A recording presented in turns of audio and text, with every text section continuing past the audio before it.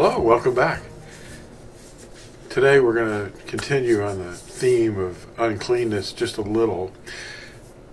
This one's called Sunset, Pigskins, and Spit. A man possessed by a legion of unclean spirits. In Hebrew, they're called Shadim. That's plural. And this man is mentioned at Mark 5. He's also mentioned in Luke and Matthew, or Matthew, but he's not mentioned in Yehukanet or John. But in three of the Nazarene, what they call Gospels, the messages, the memoirs, that we're, you know, seeing the evidence of Yahusha's life, uh, written by the first Nazarene. This man was mentioned, and he was possessed by unclean spirits. Yahusha was traveling through a region of Guim where Gentiles lived, and they were pig eaters. They ate pigs. they shepherded them, and uh, this one uh, incident involved this unclean man possessed by Shadim. So we assume that he was also a Gadarene, one of the people of the community. But Yahusha had compassion on him because he realized this guy's in trouble, man. He was out of his mind. You know, taken over. His vessel, his house, his body and mind was completely controlled by a legion of demonic spirits, unclean spirits. It's, in fact, most of the time, people that are possessed, they don't know that they're possessed because they've been, these things are subtle. They're very powerful, and they push you into a corner of your mind, and you can't. You can hear and see everything that's going on, but they're just having a party, and they're unclean. I was one of the people who had one or more until Yahusha delivered me by the prayers of my wife Phyllis. When they came out of me, she said my eyes flashed red light. I don't tell very many people this, but now I'm telling the world. These things are not fun. And you do things that are not right. But uh, unclean spirits, what causes this? Well, it's a vacancy of, you know, not having Yahusha. You're vulnerable.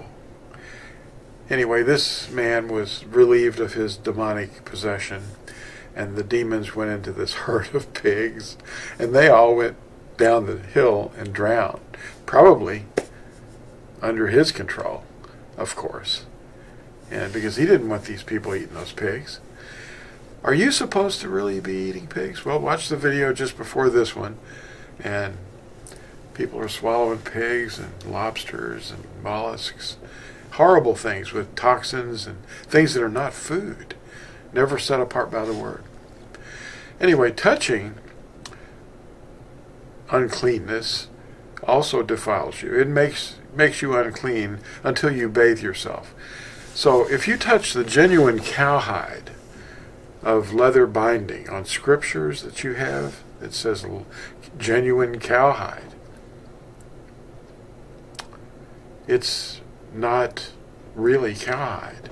It's pigskin, layers of pigskin. And they've pressed it and made it appear to be leather. Well, it is skin, it's animal hide. But this defiles a person until they bathe and change their clothes. And at sundown, they are clean. Why sundown? What, what makes the difference there? Well, see Uikra or Leviticus chapter 15 and also chapter 22. The Levitical priests, the descendants of Aharon and his his uh, children, down through the line of priests, were cooks. They worked with food, what was real food, and they also were the doctors they were to examine a person and say, whoa, you've got an infection. You see that yellow ooze coming out of that thing? Uh, you know, let's stay away from people, you know. Uncleanness You know, they were the doctors, and they told them what to do and how long to stay apart from other people. Well, we're in the Melchizedek priesthood, and we are also priests, and we're doctors. You know, we know what's clean and what's not clean. This is because scriptures are showing us what's right and what's wrong. You live by the scriptures. You don't just read it and then turn. It's the mirror. Uh, the Torah is a mirror. You don't just read it and then turn away and go, "Well, I don't remember what that said. It doesn't really apply to me." It does. You know, uh, this is uh, really serious. People that have scriptures and they pick them up and they touch them, they're sometimes they're bound with leather, but that leather is not anything but pigskin. It's always pigskin. Unless you go to a leather shop and you ask the man to make it out of cows for you, and then it's different. But how are you going to get it bound?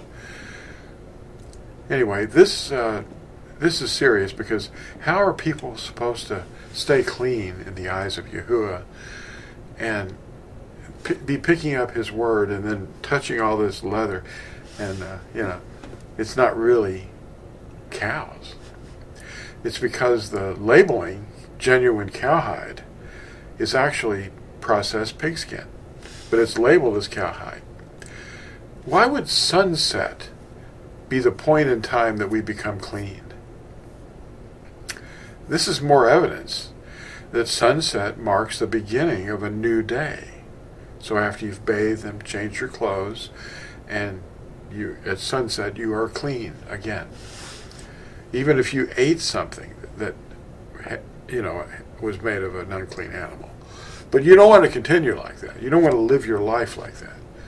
You know, we studied a little bit about what happens to people uh, that do that in the last video. Yashayahu or Isaiah 66. Touching the dead carcass of any unclean animal, if it's dead and it's unclean, or a dead human, or a leprous human that's alive, or a human that has had a discharge, or anything else, like a football that's made of pigskin. And if you come in direct contact with these items, it spreads the uncleanness to people and other things. The basic teaching here is to keep our bodies clean. Spitting on the ground is not permitted where other people may come into contact with the material. Yahusha's spirit spit is different. He made a paste, and from his saliva mixed with dirt, he healed a man from blindness so there's exceptions. The BYNV deluxe cover is, I'll show you a copy of it. It's, it's, it looks like leather, and it's, it's Smythe sewn. It's stitched, but, and it comes with a ribbon, but it is not leather, but it's polyurethane. So uh, you're safe. You know, there's no animals in this at all. Ooh, I like the sound of that. Wow. Psalm 24, verses 1 through 7, tell us how Yahuwah loves those who are clean, inside and out. Here's what it says. First seven verses. The Eretz, that's the earth, belongs to Yahuwah and all that fills it the world, and those who dwell in it. For he has founded it upon the Yamim, and upon the Mayim he established it. Who does go up into the mountain of Yahuwah? And who does stand in his Kodesh place, his set apart place? He who has innocent hands and a clean heart who did not bring his life to naught and did not swear deceivingly. He receives a blessing from Yahuwah, and obedience from the Elohim of his deliverance. This is the generation of those who seek him. Yaqub, who seek your face. Selah. Lift up your heads, O you gates, and be lifted up, you everlasting doors, and let the King of esteem come in. Thanks for watching, and remember, Baruch haba Bashem Yahuwah. Blessed is the one who comes in the name of Yahuwah. Join NatsarimLife.com. See you in the next short video. Bye.